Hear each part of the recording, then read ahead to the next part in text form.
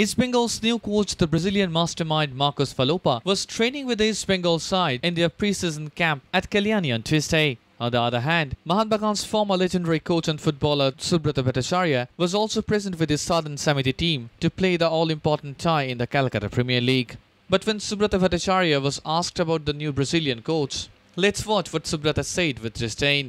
কোথায় কি প্র্যাকটিস হয়েছে আমি দেখি না আমার প্র্যাকটিস লোকে দেখে আমি কারোর প্র্যাকটিস দেখি না